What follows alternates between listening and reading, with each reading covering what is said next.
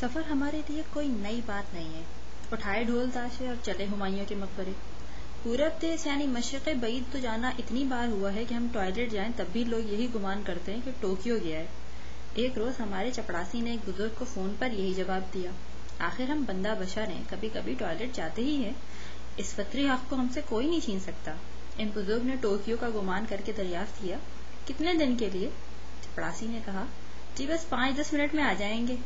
हाँ कुछ गौर फिक्र करने लगे तो आधा पौन घंटा जानिए इस पर वो बुजुर्ग बहुत भिन्नाए कि चपड़ासी होकर हमसे मस्करी करता है आने तो अपने साहब को टोकियो से वापस नगरी नगरी फिरा मुसाफिर इबन शाह